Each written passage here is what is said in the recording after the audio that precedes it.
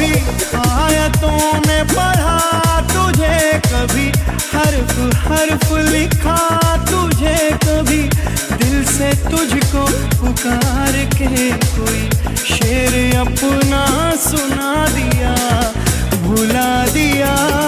भुला दिया तेरे इश्क में खुद को